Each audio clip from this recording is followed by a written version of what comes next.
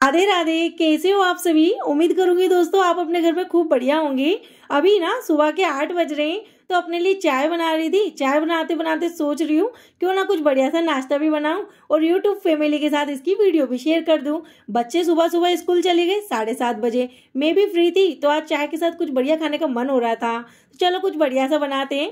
हालाँकि मुझे लग रहा था दूध एक कप ही होगा, पर फिर भी मैं नाप के रखती हूँ जब भी चाय बनाती हूँ। क्योंकि पता है, नाप के नहीं रखूँगी तो चाय को मीठी कर लेती हूँ। तो एक कप बड़ा वाला कप है, थोड़ी चाय जलेगी मतलब दूध जलेगा तो कम हो जाएगा। तो एक छोटी चम्मच इसके अंदर हम चाय पत्ती डाल दे रहे हैं।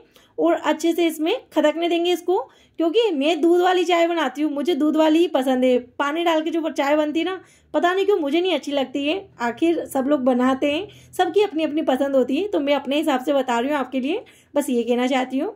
तो यहाँ पर चाय में जब तक उबाल आ रही है, खदक रही है, हम क्या कर रहे हैं यहाँ?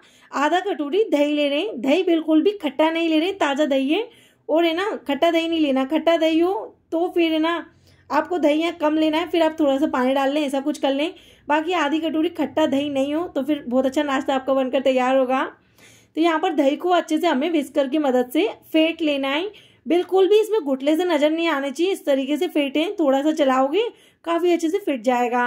दोस्तों, आज मैं आप सभी के साथ मॉर्निंग का जो अपना चाय वाला नाश्ते का ब्लॉग होता है ना कुकिंग ब्लॉग वो शेयर कर रही हूँ। और मैं उम्मीद करूँगी आपको काफ़ी अच्छी लगेगी जो हम बना रहे हैं ना रेसिपी बहुत अच्छी पसंद आएगी आपको। अच्छी लगे तो वीडियो को लाइक कर देना।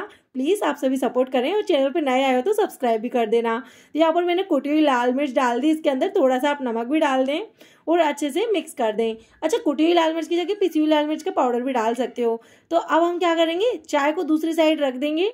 और चाय में अच्छे से उबाल आ गई। अभी भगोनी गरम गरम मुझे नहीं लग रही क्योंकि उसमें चाय कम है। बाकी आप सड़ासी वगैरह से पकड़ के उठाना, हाथ मत जला लेना और फिर आप चाय पहले ही दूसरी साइड रख देना। मुझे ना इस वाले चूल्हे में काम करने में काफ़ी आसानी होती है वीडियो शूट करने में। वो कोने का पड़ जाता है, उधर दीवार आ जाती है, इसीलिए। अब मैंने क्या किया दोस्तों?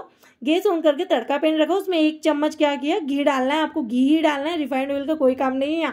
घी में ये नाश्ता टेस्टी बनता है। घी गर्म होते ही आधी छोटी चम्मच काली वाली सरसों डालें साथ में इसमें थोड़ी सी हिंग जाएगी, जिससे बहुत अच्छा फ्लेवर हो जाएगा नाश्ते में। और जैसे ही आपकी काली वाली सरसों चटकने लग जाए तो गैस बंद कर दें और एंड में कड़ी पत्ता ज़रूर डालें। इससे बहुत अच्छा टेस्ट हो जाता है हमारे नाश्ते में। और मैं जब जब कड़ी पत्ता डालती हूँ, पता नहीं क्यों मुझे छीटे खाने का काफ़ी डर लगा रहता है। तो बस कड़ी पत्ते को भी थोड़ा सा तड़क जान दें मतलब कुरकुरा सा हो जान दें और इस दही में अच्छे से मिक्स कर लेंगे। तो इस तरीके से एक तड़का ज़रूर लगाएँ, इससे नाश्ते में ना बहुत अच्छा टेस्ट हो जाता है।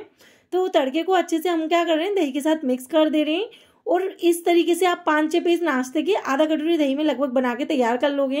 यहाँ पर मैंने आधा कप बेसन लिया, पर पूरा नहीं डाल रहे एक चौथाई कप के लगभग ही डालेंगे और अच्छे से मिला देंगे। इस तरीके से नाश्ते में ना बहुत अच्छा टेस्ट हो जाता है बेसन डालने से। बाकी आप सिंपल दही से भी बना के खा सकते हो, पर वो सॉफ्ट सॉफ्ट बनता है जो हम बना रहे हैं ना, अभी आपको पता लगेगा मैं क्या बना रही हूँ। और इस तरीके से बेसन थोड़ा सा चला जाएगा इसके अंदर तो फिर नाश्ता आपका बहुत ज़्यादा कुरकुरा हो जाएगा। तो टेस्ट के अकॉर्डिंग नमक डाल दें और अच्छे से मिक्स कर दें। कोई भी ज़्यादा मसाले नहीं जाएँगे। सुबह सुबह के टाइम इस नाश्ते को बना सकती हो। ना ही इसमें प्याज, लहसन, वेसन किसी चीज़ का कोई झंझट नहीं है।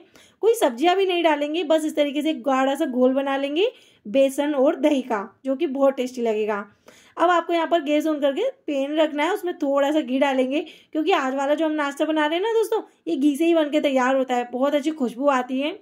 कभी कभार आपको घी में ही हेल्थी नाश्ता बना को हेल्थी नाश्ते को बना के खाना चाहिए, खिलाना चाहिए। तो यहाँ पर आपको ब्रेड लेना है क्योंकि ब्रेड से बन रहा है। यहाँ पर एक एक ब्रेड को लेंगे और जो बेसन और दही का गोल है, इसमें डिप करेंगे और घी के ऊपर इस तरीके से गर्म घी हो गया है और यहाँ पर इसको रख देंगे मतलब पेन में रख देंगे। तो एक बार में जितने नाश्ते के पीस आ जाएँ आपके, उतने पीसेस को आप रख सकते हो। छोटा वाला पेन लिया है तो दो पीस तो लगभग इसमें आ ही जाएँगे। ज़्यादा देर आपको डिप नहीं करना है, वरना ब्रेड टूट जाएगा। बस थोड़ा सा अलट दें, पलट दें और इसमें अच्छे से कोटिंग हो जाए। बस इतना इसको डिप कर लें।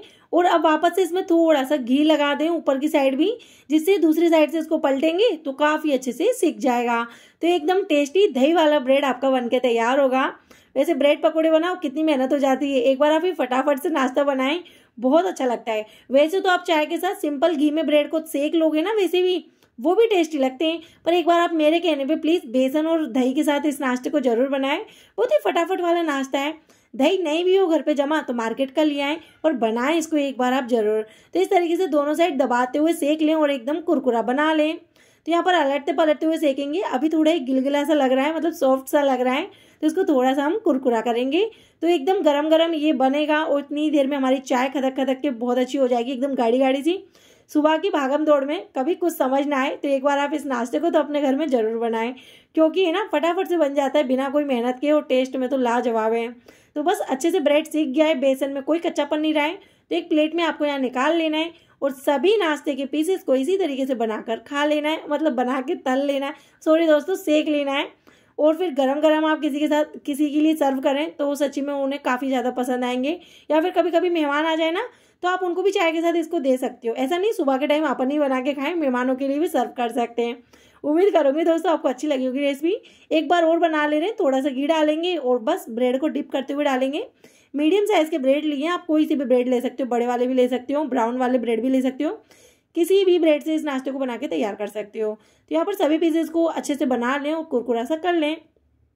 तो एकदम हेल्थी टेस्टी नाश्ता हमारा बनके तैयार है। चलिए तो सर्व कर लेते हैं। तो एकदम गरम गरम चाय, आप देख रहे हो चाय की फिर मैंने वीडियो शेयर नहीं करी, क्योंकि इधर इनको बना रही थी मैंने, उसमें ना अदरक, चीनी वगैरह डाल दी, खदकाली बन गई अपनी चाय सिंपल सी। गरम गरम चाय पीजिए, साथ में इसको खाइए, बड़ा ही टेस्टी लगा था। मुझे तो सच्ची में बहुत ज़्यादा पसंद आया था। आप भी बनाए खाए एंजॉय करें। कल फिर मिलेंगे। बाय